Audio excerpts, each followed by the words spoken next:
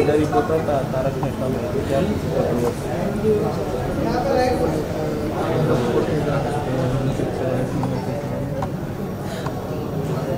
जब हो जाए बता देना उसको पेट बार ले हाँ थोड़ा थोड़ा। थोड़ा ऐसे टर्न लेफ़्ट साइड में लेफ़्ट साइड में।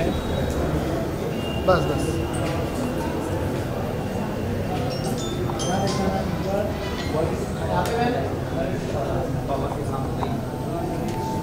मैम लोग क्या? यहाँ पे यहाँ पे सांस लेते रहना ले लो हम कट कर लेते हैं। डन डन डन छोड़ दो।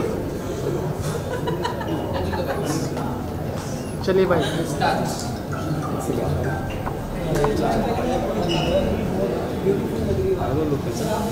ये सेंटर लुक रहेगा।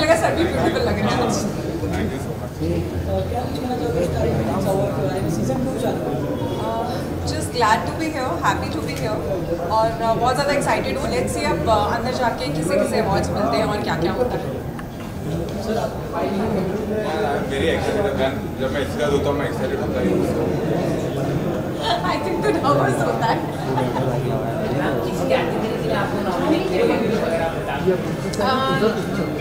Okay so I would not like to reveal right now जब बाहर अवार्ड के साथ आऊँगी तब बाइट देते हैं। ओके काफ़ी जो ड्रेस है जैसे कि मेरी कली कलर बहुत ब्यूटीफुल आप लगी है तो काफ़ी नए डिज़ाइनर से आपने लिया हुआ एक ड्रेस है। इस ड्रेस के बारे में आउटफिट के बारे में आप मुझे बताइए। Uh, okay, so I totally love the outfit. It's a very beautiful color, and uh, मेरी designer है Mittal Patel. Who always uh, styles me. तो उन्होंने ही आज भी मुझे uh, किया है। और uh, आज मैं बहुत ज़्यादा खुश हूँ क्योंकि इतना फ्लोई ड्रेस है मेरा पति मुझसे थोड़ी दूर चल रहा है।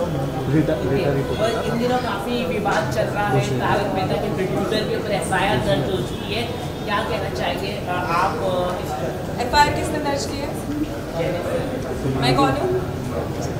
थैंक यू लेकिन but you are the part of the show I- और शो के अंदर कई सारे जो आपने भी काफ़ी कहा है कि शो के अंदर काफ़ी लोगों को हैरास किया गया था छुट्टी भी दी जाती थी काफ़ी परेशान किया जाता था।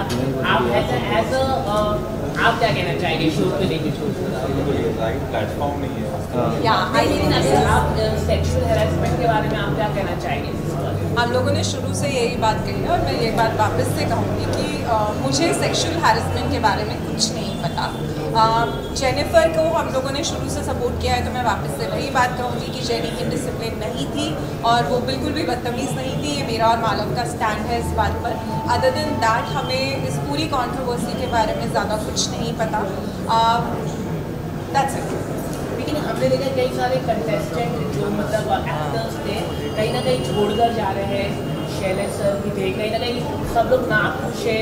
जिस तरह से शो की जो प्रोड्यूसर है डायरेक्टर है डायरेक्टर तो यही खड़े नहीं नहीं और दूसरे भी थे वो काफ़ी कई तरह से रूड बिहेव कर रहे थे क्या कहना आप? मुझे दूसरे डायरेक्टर का नहीं पता इसका पता है ये वाला कभी रूल नहीं।